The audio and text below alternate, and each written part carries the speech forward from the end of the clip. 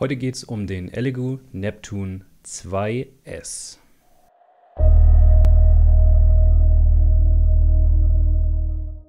Der Elegoo Neptune 2 hat ein Bauvolumen von 22 x 22 x 25 cm.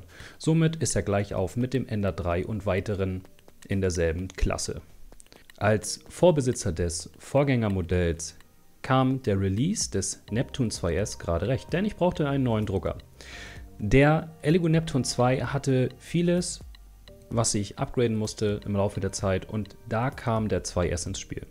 Kostentechnisch ist der Elegoo Neptune 2S etwas teurer als der Vorgänger, allerdings hat er bereits alle Upgrades, die man sich so wünschen könnte, verbaut von Anfang an. Das bedeutet ein Metallextruder, große Levelschrauben zum einfachen Einstellen des Druckbetts und auch ganz wichtig ein entfernbares Druckbett. Das beschichtet ist und es funktioniert wunderbar. Ich habe bereits auf dem Vorgängermodell rund 1500 Stunden gedruckt und auf dem 2S, den habe ich jetzt seit seitdem er rauskam. Ich habe ihn gleich gekauft ähm, und seitdem lief er bis Weihnachten durchgehend ohne Probleme. Ich habe allerdings nochmal eine neue Düse verbaut. Und zwar werde ich die einmal einblenden. Und zwar ist das die Brosel Düse. Die ist besonders beschichtet. Ich kann sie nur empfehlen, denn ich hatte die auch beim Vorgängermodell bereits installiert und war, war damit sehr zufrieden. Ich hatte das Gefühl, einen besseren Flow zu haben. Ja, und wenn wir einen besseren Fluss haben, können wir gleichmäßiger extrudieren. Das bedeutet, die Drucke werden sauberer. Ich drucke hauptsächlich große Objekte. So, so sieht das Ganze aus. Äh, das ist jetzt auch gedruckt auf dem Elegoo. Hallo, fokussiere. Genau. Also das ist äh, ein Produkt, welches ich verkaufe und ein bisschen Stringing haben wir noch drin, ist noch nicht nachbearbeitet. Allerdings kann man von dem Drucker eine gute Qualität erwarten äh, für das, was man bezahlt. Wenn du einen Einsteigerdrucker suchst, der einfach aufzubauen ist, gute Ergebnisse liefert und keine Upgrades mehr braucht, dann greift zum 2S.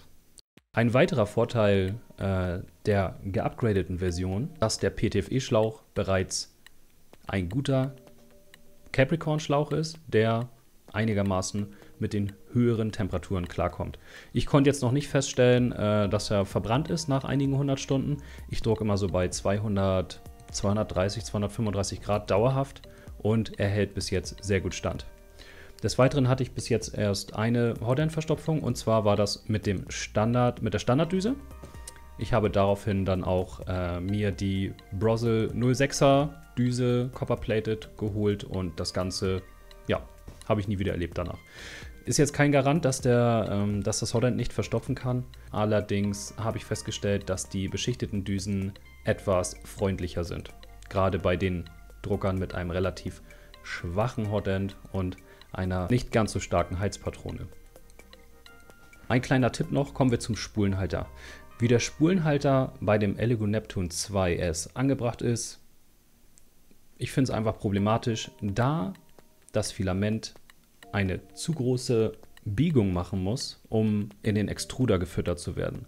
Dadurch machen wir das dem Extruder viel zu schwer, das Filament nachzuführen. Am besten greifst du auf einen Spulenhalter zurück, der kugelgelagert ist.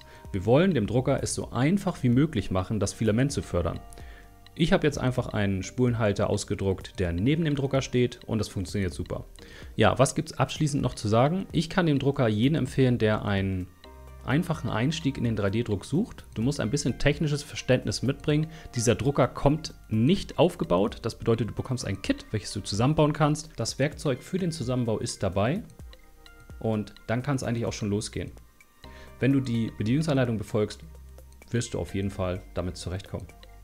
Ja, dann bleibt mir nur noch zu sagen, danke fürs Zuschauen. Ich würde mich freuen, wenn du ein Abo da lässt oder auch vielleicht einen Kommentar hinterlässt, wenn du eine Frage hast oder Feedback geben möchtest. Würde mich sehr freuen. Ich warte so lange, bis du den Knopf da unten gedrückt hast. Tschüss.